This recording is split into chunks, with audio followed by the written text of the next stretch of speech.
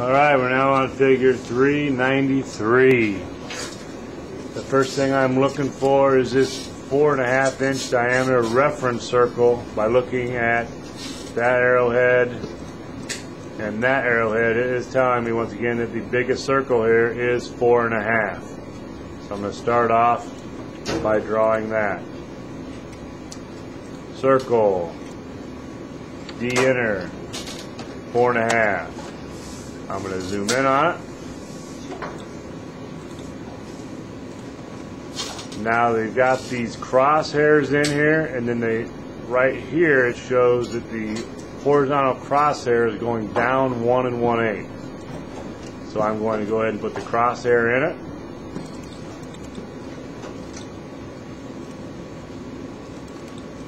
Once again, if your quadrant buttons are not being highlighted, you go to settings and make sure your quadrant button is selected.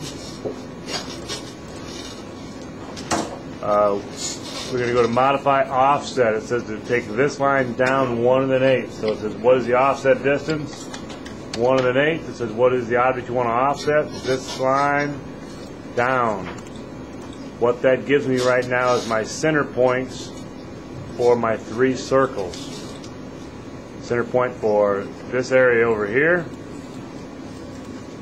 This center point for this circle over here and the center point's up there. If I look at this arrowhead here, the, that tells me the biggest radius for the big circle is a 5 8 radius. So I'm going to draw a circle.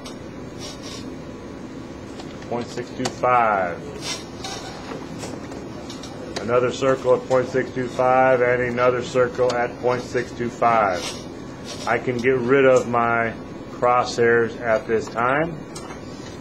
I can get rid of the horizontal line at this time.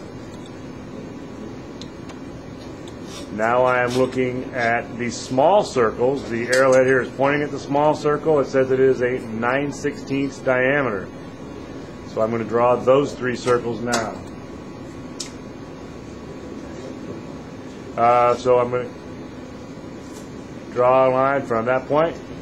I'm going to go D enter, point 5625.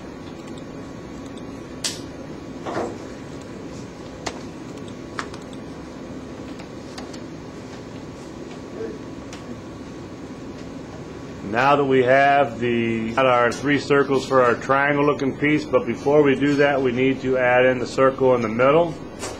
That circle in the middle, if we go back to it, if I look at this arrowhead, it says that it is a diameter of two and a fourth.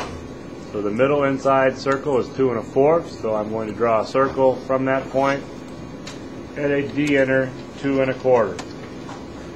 Once I have that circle, I can erase my outside circle and we are ready to go ahead and put in the uh, the angle pieces. And we will do that by doing the quadrant to the tangent back to the tangent. You've got to right click on OSNAP go to settings and make sure your tangent button and your quadrant button are on.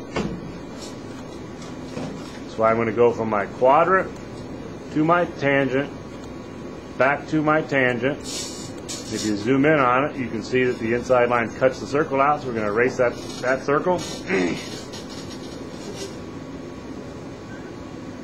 then I'm going to draw my line from the quadrant to my tangent, back to my tangent, zoom in on it, erase out the inside line,